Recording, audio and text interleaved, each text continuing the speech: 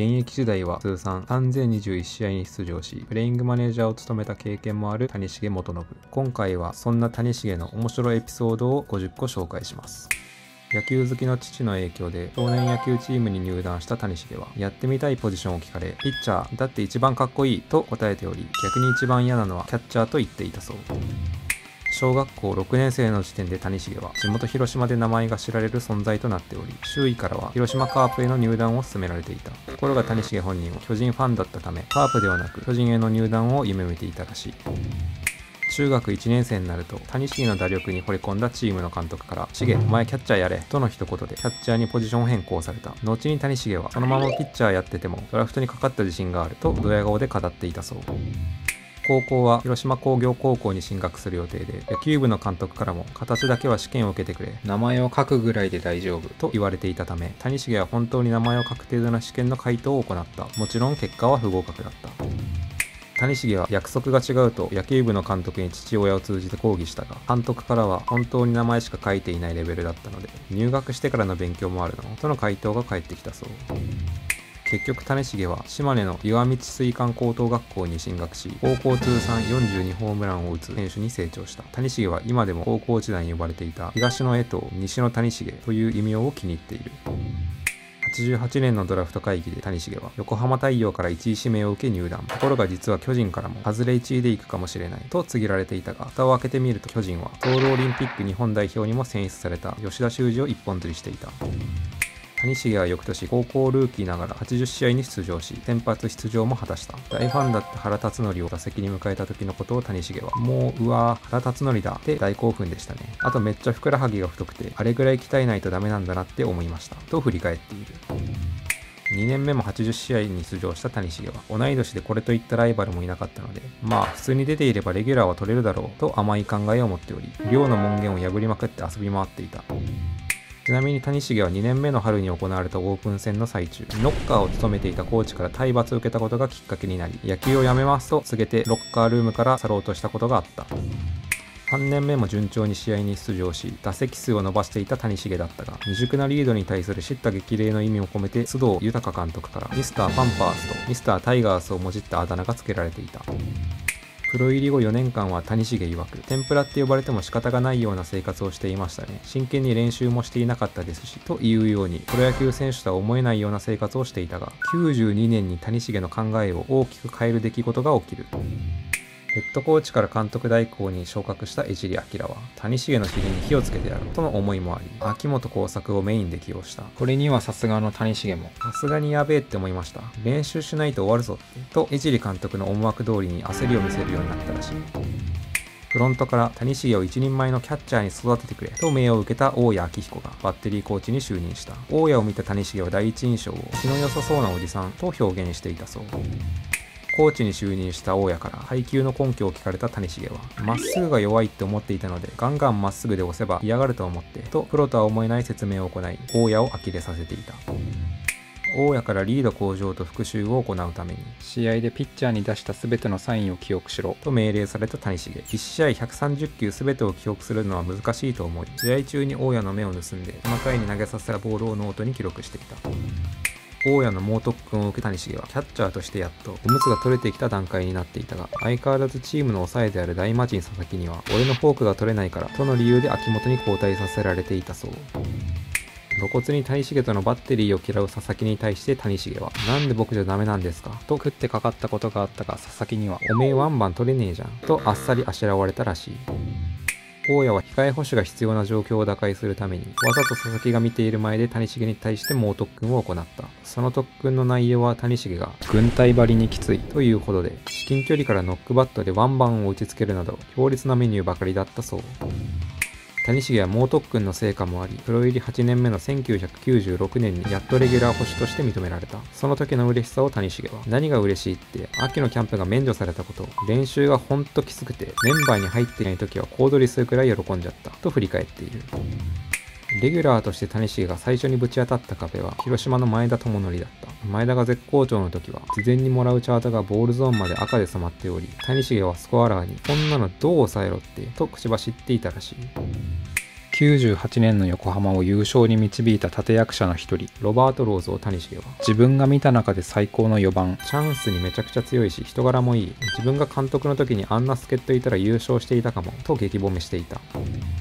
98年に監督に就任した権藤博から谷繁はピッチャーに気持ちよく投げさせろとの指示を受けた。ピッチャーに細かいコントロールを要求していた谷繁に対して権藤は真ん中に来たらグッドコントロール端に行けばグッドラックとにかくストライクを投げさせろと何度も伝えていたそう。近藤監督は監督と呼ばれることを嫌っていたので監督と呼んだ場合に罰金を取ると宣言。谷繁はその第1号になった経験がある。谷繁が若手ピッチャーの不甲斐ない投球にイライラしている時同じキャッチャーの古田敦也がバッターボックスに入ると古田さんこんなの一軍のピッチャーじゃないでしょと愚痴をこぼしながら全力で返球していたそう。審判に対して谷繁がここぞの場面で間違えてほしくないとの思いがあり多少のボール球をストライクと判定されても今のはボールでしたねと伝えたことがある。横浜時代は特に巨人戦で燃えていた理由をテレビに映るし活躍したら新聞の一面になる。それに人参もでかいから燃えていたと満面の笑みで語っていたらしい。ポジョンがない時代は各チームの外国人選手がキャッチャーをめがけてタックルしていた。大怪我になる可能性があったので谷繁は外国人選手にバッターボックスで笑顔を振りまき優しさをアピールしていたとか。近藤の後を受けて監督に就任した森正明監督の会見で谷繁は名指しでリードを鍛え直さないといけないと言われ密かにブチ切れていたそう。FA 権を取得した際はメジャーへの挑戦を宣言しシアトルマリナーズとサンディエゴパドレスアナハイムエンゼルスの関係者らの前でワークアウトを行った。しかし下された評価はサイズが小さすぎると辛辣なものでもちろん谷繁はブチ切れていた。中日に移籍して以降の谷繁はさやき戦術を多用するようになっており最もさやきに弱かった選手を聞かれた際には広島の新井貴弘だったことを現役引退後に語っている渡米前の松井秀喜に対して谷繁は「今日は何だれ?」と焼肉のタレの CM ネタをささやき気分を良くした松井に特大ホームランを打たれたことがある現役時代に一番嫌いだった選手を聞かれた谷繁は阪神の赤星憲広の名前を挙げ全然前に打たない。ピッチャーは消耗するしこっちはイライラしてくるしほんと嫌いだった。とその理由を苦い表情で明かしたそう。何度も谷繁とバッテリーを組んだ山本昌は赤星に走りまくられるので前の打者のピッチャーをわざと歩かせて赤星の盗塁を封じたことがある。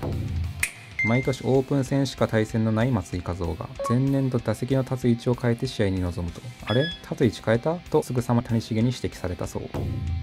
2006年に行われた第1回 WBC 最初の数試合はスタンドに空席が目立つほど注目されておらず観戦に来ていたトンネルズ石橋貴明を見つけた谷繁は「はいタカさんこれ WBC のボール」と使用球をプレゼントしていたそう。WBC で初めて巨人のエース上原浩二のボールを受けた谷繁は今まで受けた中で一番コントロールがいいピッチャーと大絶賛している。ところが打者谷繁は上原をカモにしていた。アメリカとの試合でロッテの清水直之が谷繁の要求通りに完璧なシュートを投げた。しかしこれを初見だったはずのデレク・リーにスタンドまで持っていかれてこれがメジャーかよと試合中にもかかわらず思わず感心してしまったそう。巨人に入団した安倍晋之助は学生時代に谷繁とキャンプを共にしたことがあり帰宅する前に部屋に呼ばれ谷繁からキャッチャーミットをもらっていた。実はこの時谷繁は阿部が自分のチームに入ってくるとレギュラーを奪われるかもしれないと考えておりミットをプレゼントしつつもうちに来ても守るとこないから来るならファーストミット作っておけよなとかましを入れていたらしい。日本シリーズで対戦した和田和弘に川上憲伸の投じたシュートを完璧に捉えられたことがあった谷繁は和田が中日に移籍してきた初対面であの時狙ってたの？反応で打ったの？と質問攻めしたそう。谷繁は3000試合以上に出場しているが、イチローとの試合は数えるほどしかなく、イチローの印象について、もう見逃すと思った瞬間に、ブンってバットが出てきて完璧にレフト前に打たれたと語っており、忘れることができないと述べていたらしい。連続試合出場を続けていた金本智明。に岩瀬仁樹がデッドボールを当て骨折をさせてしまった際谷繁は次の対戦の直前に岩瀬ここでインコースに行けなかったらダメだぞ。と伝えインコースをガンガンに攻めまくっている。谷繁は3連戦トータルで試合の組み立てを考えており調子のいいバッターは初戦で崩し最後の試合では他チームとの対戦で打ってもらうためわざと調子を上げさすような配球を行っていた。この行為を谷繁は放流と名付けている。投手として2500試合以上に出場してから一塁を守った谷繁は楽めっちゃ楽。これならまだ2000試合くらい出られるかもと嬉しそうに答えていたらしい。自分が見た中で天才と呼べる選手を挙げてほしいと言われた谷繁は真っ先に山崎武史の名前を挙げた。その理由について谷繁は試合終了後あんなに早く帰る人を見たことがないと説明したそう。谷繁はボール球をストライクに見せるフレーミングという行為が大嫌いらしく小学生からフレーミングのコツを聞かれた際もそんなこと考えるよりいっぱい食べていっぱい寝ようと斜め上の回答を披露したそう。現役時代に見せた最高のプレーについて谷繁は甲子園でわざとボールを見失った演技をしてセカンドでランナーを刺したプレー。俺の演技がすごすぎて佐々木さんまで騙されてたからと自慢げな表情を見せていた古巣の中日がここ数年低迷している理由について谷繁は自分たちが築いた黄金期が長すぎたと指摘司会者から「やっぱり谷繁さんのリードがすごかったんですか?」と聞かれると食い気味に「もちろん」と大爆笑を誘った。谷繁のゴルフの腕前はアマチュアの域を飛び出るほどで今後の目標は球界復帰よりもゴルフのミッドアマ大会への出場であると口にしている。ということで今回はいくつもの戦術を駆使してその登板数を記録した谷繁元信を紹介してきました。厳しいイメージのある谷繁ですが意外とお茶目なエピソードも豊富でしたね。このチャンネルではプロ野球での面白いエピソードをたくさん伝えていきますのでこれからもよろしくお願いします。それではまた。